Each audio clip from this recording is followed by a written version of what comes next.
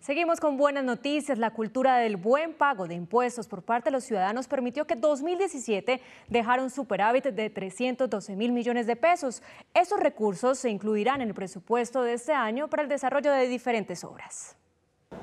Debido al aumento en el buen pago de impuestos por parte de los medellinenses en 2017, la ciudad cuenta con 312 mil millones de pesos más para ser ejecutados este año. De 100 facturas que nosotros emitimos en impuesto predial, nos pagan los ciudadanos cerca de 85 facturas. Eso es muy importante para esta ciudad.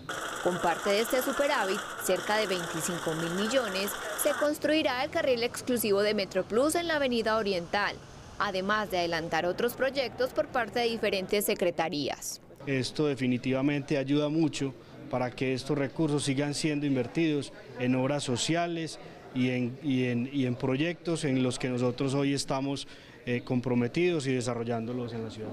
A este superávit se le adicionará el excedente que también registró EPM en 2017 y será presentado conjuntamente ante el Consejo en los próximos días.